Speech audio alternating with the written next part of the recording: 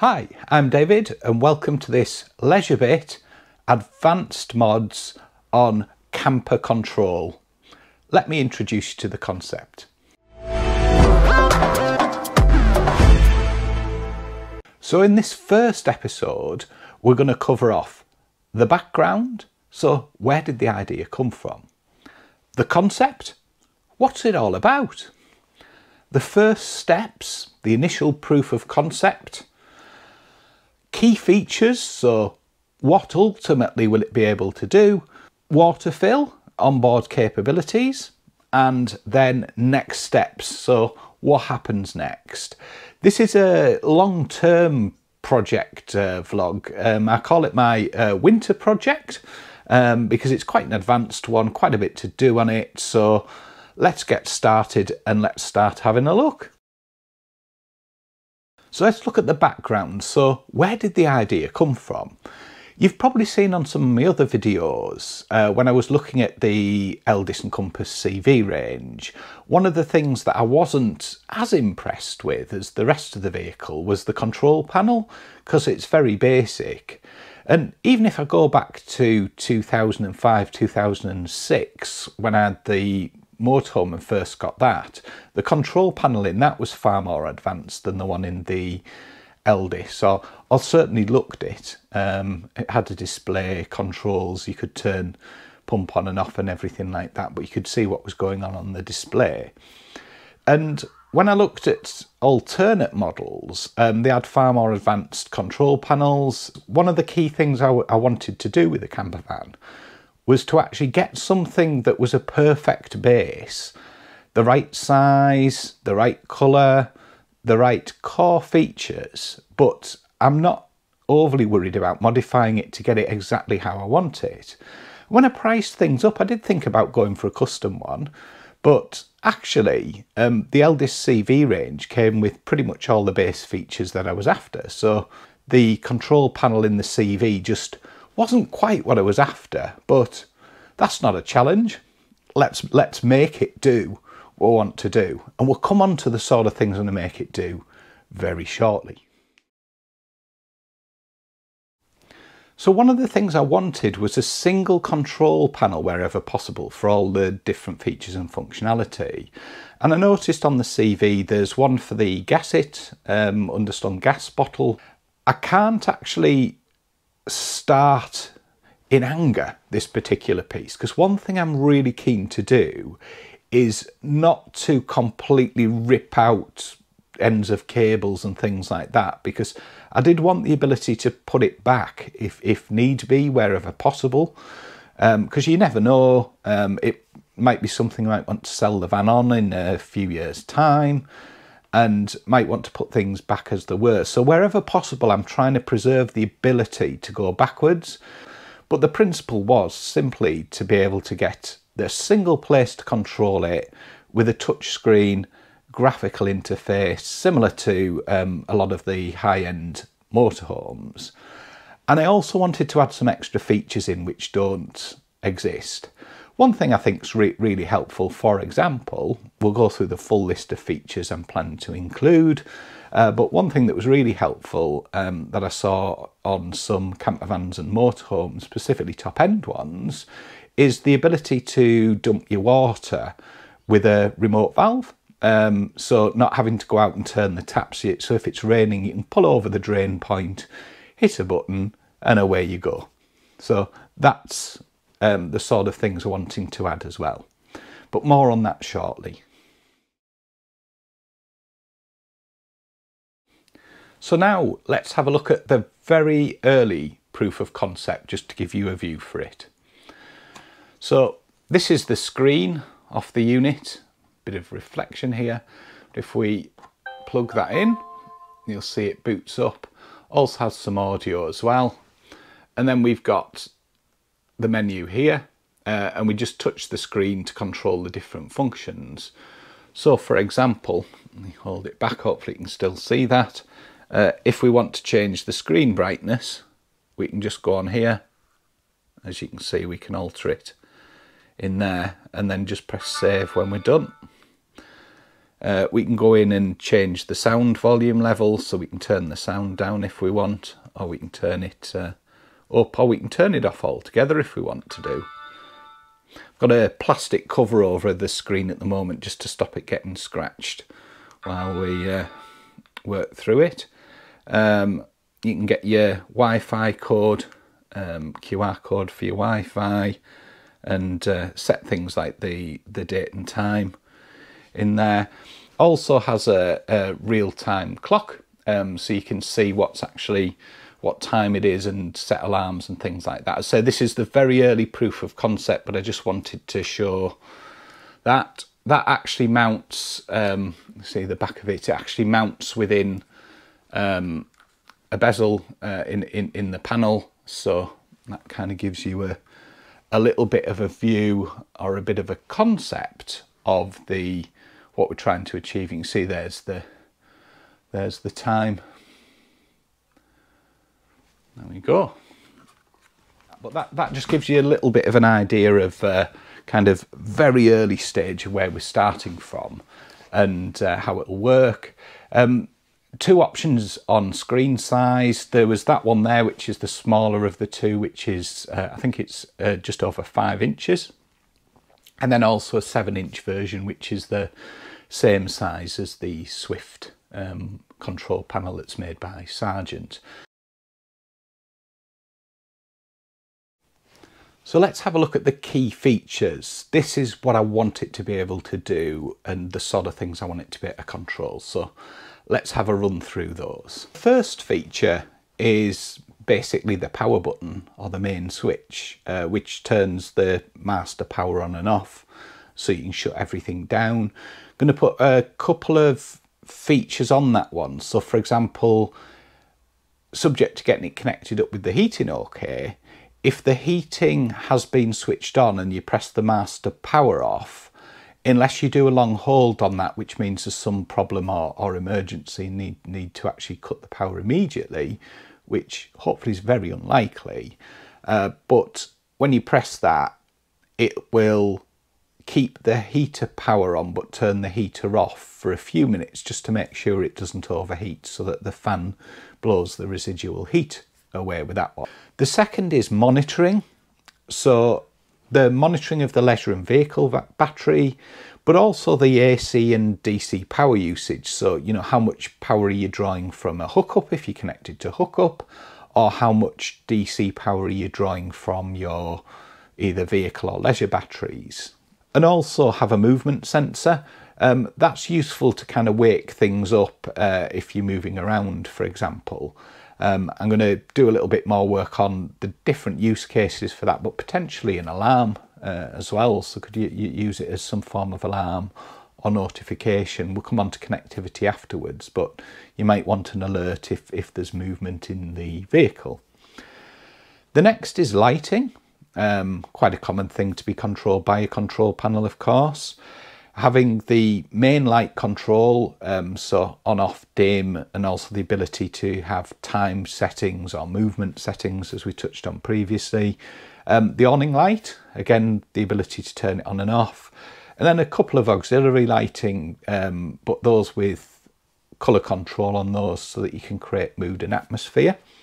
I think one I'm going to put around the step up into the cab and the other one um, in the back, I think, over the uh, roof space just to give it a bit of a glow and light up. So at least a couple of um, auxiliary outputs for driving additional lighting there. Then it's the clock and alarm. So basically a real-time clock, um, as you got a very early view on there, an alarm clock, but also a timer because you might want to time something that you're cooking, for example, or you might want to wait 15 minutes and then say I'll take you out in 15 minutes to Roxy. And you set 15 minute timer and then when it bips you can go. Um, then an auxiliary for controlling devices which can be connected together and potentially they're looking to control the, the, the Whale heating system and also the hot water and potentially the fridge as well um, through CI bus um, controls. So what I'm looking into. Again, that that's slightly more advanced and down the line. To take a little bit of work to do that once. This is probably the back end of the project. From a con connectivity point of view, an option of remote access so that you can access the um, system from your phone. Uh, probably going to do it as a, a web app rather than a, a full app. Uh, and then you can check and see, you know, how's your battery, have you left any lights on, you know, is there anything else you need to do or turn lights on, turn them off, whatever you need to do there. So a, a deg degree of connectivity so you can check the status of the vehicle or be able to turn things on and off with your uh, mobile phone or iPad um, or tablet, whatever it happens to be. Uh, then from an environment perspective, uh, going to have outdoor temperature, indoor temperature, indoor humidity, so you can see what, what it's like inside. We probably have outdoor humidity as well uh, with that. Um, and I'm also going to include, um, as an option with it, the indoor carbon dioxide, because it's a very good view of air quality. So, so you can check when it's going to get a bit stuffy, so you don't end up feeling lethargic and things like that. So that's one thing I was keen to include with it, because I find those very useful at home and also the light level for controlling brightnesses of things so it can create some dynamic lighting as an option depending on the outside light level. Uh, the next thing was tank heaters. So the ability to control the tank heaters and actually again set up some settings to say that they come on when certain conditions are met, such as the outside temperatures below five or four degrees, uh, whatever you want to set it to, and the van's occupied and the battery level is above X, for example. So that's uh, and other settings. So if the battery drops drops below a certain point, send an alert out, or all of those different things can be controlled then because hooking all these things together then gives the ability to create some useful sequences that help automate some of the things that you would have to manually check as you go through. From a wastewater perspective, um, wastewater level, so how full's your wastewater, and a wastewater dump valve that can be controlled from the panel or again from your phone, potentially with a little remote control so you can do it from the cab as well. And then fresh water, so pump on and off, water level, uh, the filler pump solenoid. Now, cover more on that one in a bit more detail in a further video, but that's basically the power to the exterior pump if you want to pump from a Aquaroll or a water container with a pump the ability to turn that on and off so when it's full it knocks the power off so it just doesn't keep filling and then make a mess um, water flow. Um, so basically water metering, how much water's gone into the tank and also how much water then comes out of the tank, which is a more accurate way of measuring how much water's used then. So you know when you need to fill up how much water you're carrying with a, a much better degree of accuracy. Won't be 100% accurate, but it'll give, you know, within a litre or so how much you've got in, I would expect.